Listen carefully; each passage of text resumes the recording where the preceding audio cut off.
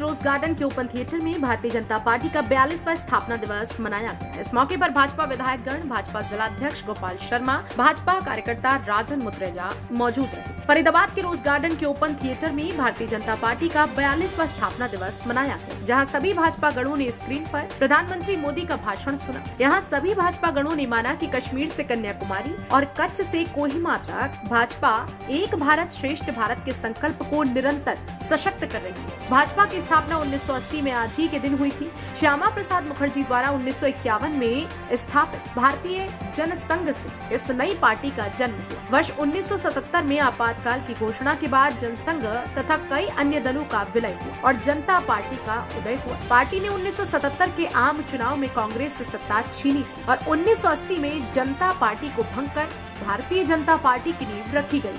Bharatiya Janata party का बयालीसवा स्थापना दिवस है और ये सारा जो स्थापना दिवस है, वो न पूरे भारतवर्ष में, बड़े हर्षोल्लास के साथ मनाया जा रहा है। हमारे फरीदाबाद में, हमारे सारे मंडलों में, सुबह हमारे सभी कार्यकर्ताओं ने अपने घरों पर ध्वजारोहण किया। हमारे जो त्रिदेव हैं जो बूथ समिति के हमारे अध्यक्ष हैं पालक हैं मेरा आप सभी से अनुरोध है जितने भी लोग बाहर खड़े हैं लट्टू हैं वो कृपया यहाँ सभी ने।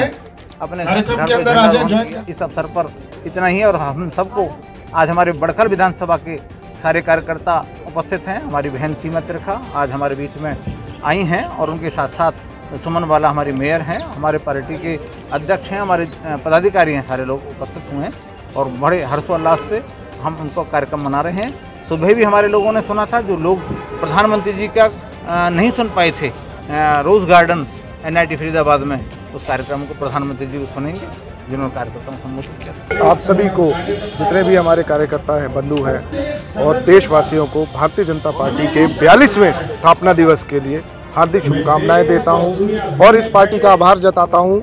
इस देश की जो इतने सालों से उन्होंने सेवा करी है, जिसके बदौलत हम आज यहाँ ये दिन देखने को हैं और अपने आपने जैसे पूछा कि युवाओं साथियों को तो मैं कहूँगा कि एक ऐसी पार्टी जो देश हित में सोचती है, राष्ट्र हित में सोचती है, जब भी सोते उठते जागते ट्वेंटी फोर सेवन सिर्फ़ और सिर्फ़ देश की बात करती है तो मैं अपने देश के युवाओं से भी कहूँगा कि बढ़ चढ़ के आएँ, इस पार्टी को ज्वाइन करें, ज़्यादा से ज़्यादा संख्या में चुनें।